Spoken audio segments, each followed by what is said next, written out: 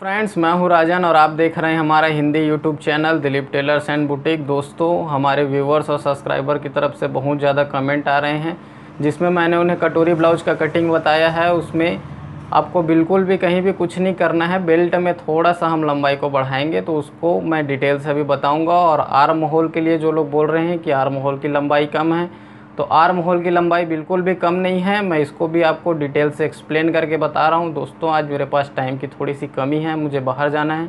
इसलिए अर्जेंटली इस वीडियो को अपलोड कर रहा हूँ और इसके बाद मैं कल एक वीडियो अपलोड करूँगा जिसमें आप लोग देखेंगे कि हम नाप के ब्लाउज़ का मेज़रमेंट लेकर के किस तरीके से ब्लाउज़ की कटिंग करते हैं। कटोरी ब्लाउज की कटिंग को मैं एकदम डिटेल से आप लोगों को बता दूँगा। इसके लिए आप लोगों को चिंता करने की ज़रूरत नहीं है। वीडियो पसंद आए तो इसे लाइक करिए, दोस्तों के साथ शेयर करिए। और हमारे व्यूवर्स से रिक्वेस्ट है कि इस वीडियो को ज़रूर देखें ताकि कटिंग करने से पहले हम जो बेल्ट में थोड़ा सा एक इंच का जो एक्स्ट्रा मार्जिन देंगे, उसको आप देखेंगे, उसके बाद इसकी कटिंग करेंगे। तो दोस्तों, चलिए वीडियो को शुरू करते हैं।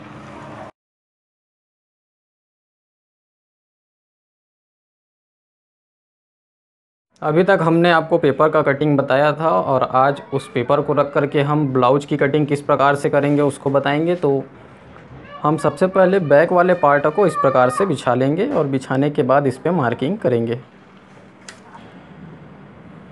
सभी पार्ट में बिल्कुल हम एक बराबर निशान लगाएँगे। किसी पे भी हमें एक्स्ट्रा मार्जिन नहीं देना है। सिर्फ़ हम बेल्ट पर इसमें एक्स्ट्रा मार्जिन देंगे और मार्जिन दे करके उसकी कटिंग करेंगे। अभी तक मैंने ब्लाउज पर कटिंग करना नहीं बताया था, इसलिए पेपर कटिंग पे मैंने जो ब्लाउज पे हम काटेंगे बेल्ट, उसका मार्जिन नहीं बताया था। इस मार्जिन को देना बहुत ज़रूरी है कपड़े में, नहीं तो बेल्ट छोटा हो जाएगा। तो देखिए, इस प्रकार से हमने पेपर को रख करके फिक्स इसका निशान लगा लिया है, कहीं पे भी एक इंच भी हमने एक्स्ट्रा नहीं बढ़ाया है। दोस्तों, बैक वाले पार्ट को काटने के बाद हम क्रॉस पट्टी को काटेंगे। इसके लिए भी हम फिक्स पे ही निशान लगाएँगे, कहीं पे भी हमें थोड़ा सा भी मार्जिन नहीं देना है। यहाँ पर भी हम पूरा फिक्स निशान लगाएँगे, एक बराबर मार्किंग कर लेंगे।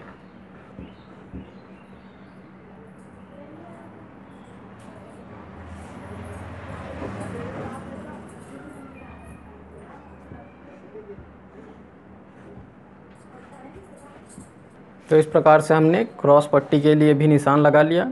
तो चलिए अब बेल्ट के लिए निशान लगाते हैं। जो हमारा मेन हिस्सा है, वो ये बेल्ट का ही हिस्सा है, क्योंकि जब भी हम ब्लाउज कपड़े पर कटिंग करेंगे तो बेल्ट में ही हम एक्स्ट्रा कपड़े की कटिंग करेंगे। इसके अलावा हमें किसी भी पार्ट में एक्स्ट्रा मार्जिन नहीं देना है। और आप देख सकते हैं हम इसमें कितना मार्जिन दे रहे हैं। पौन इंच का मार्जिन हम इसमें दे रहे हैं इस प्रकार से। और इतना मार्जिन देने के बाद दोस्तों, हमने इसमें सिर्फ़ जो नीचे वाला हिस्सा है, सिर्फ़ उसी पे मार्जिन दिया है और बाकी जगह पे हमने फिक्स निशान लगाया हुआ है। सिर्फ़ इतना ही मार्जिन आपको ब्लाउज कपड़े पर देना है। उसके बाद हम कटोरी का भी निशान लगाएँगे। कटोरी के लिए भी हम बिल्कुल फिक्स पे निशान लगाएँगे। जहाँ जहाँ पर हमने टक्स के लिए कट लगाया था, उस कट पर हम मार्किंग कर लेंगे ताकि स्पष्ट रूप से हमें समझ में आ सके। इस प्रकार से निशान लगा करके हम इसकी कटिंग करेंगे।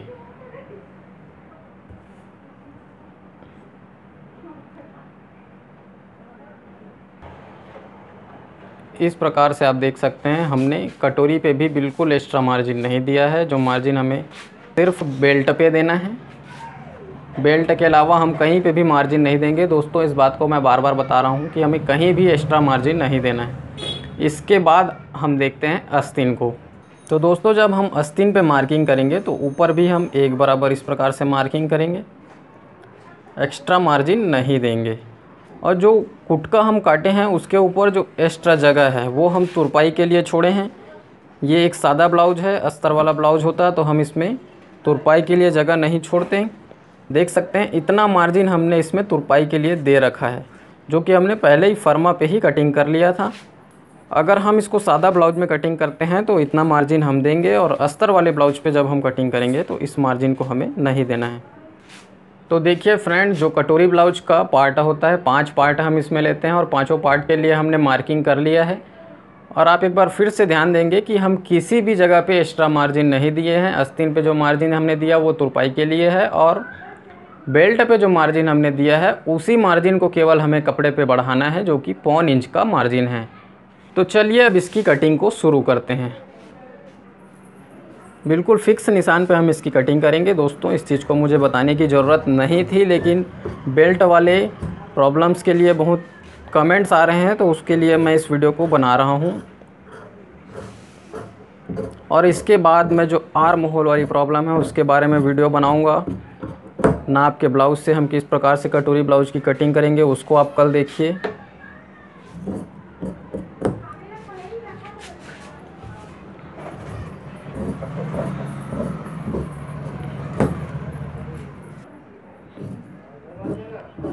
इस तरीके से आप इसकी कटिंग कर सकते हैं।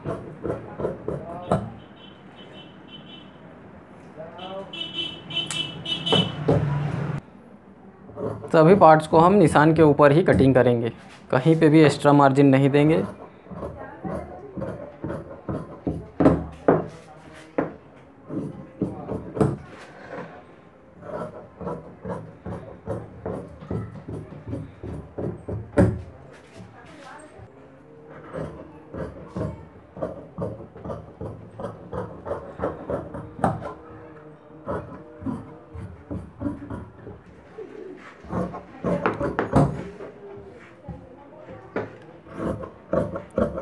इस प्रकार से बेल्ट की भी कटिंग हो जाएगी। ऊपर वाले निशान पे ही कटिंग करेंगे। इस बात का आप खास ध्यान रखेंगे।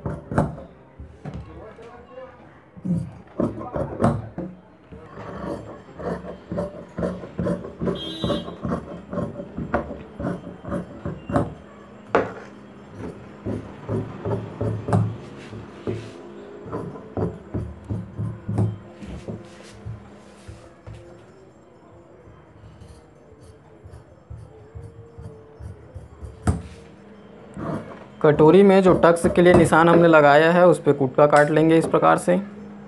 और जो सेंटर का निशान है, उस पर हम दोनों साइड इसको मार्किंग करेंगे। इस प्रकार से हाथ रख लेंगे, उसके बाद इस तरीके से मार्किंग कर देंगे।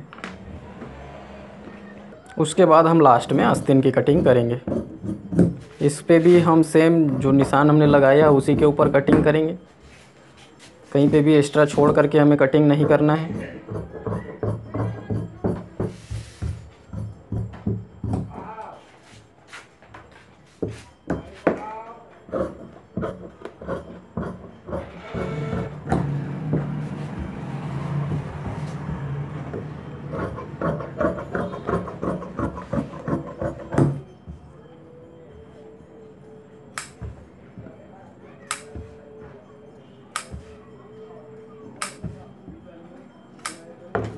इस तरीके से हमने सभी कट को लगा लिया है।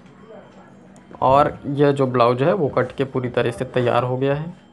इस प्रकार से पाँचों पार्ट्स को जब हम काट लेंगे तो अपने कटिंग को सही है क्या गलत है, इसको चेक करने का बहुत ही आसान तरीका है। इसको आप देखिए। सबसे पहले हम क्या करेंगे, क्रॉस पट्टी को बैक वाले पार्ट के ऊपर रखेंगे। इस तरीके से। और इसको बराबर हम मिला करके देखेंगे कि कहीं पर ऊपर नीचे तो नहीं हो रहा है। आप देख सकते हैं, ये बिल्कुल बराबर आ रहा है।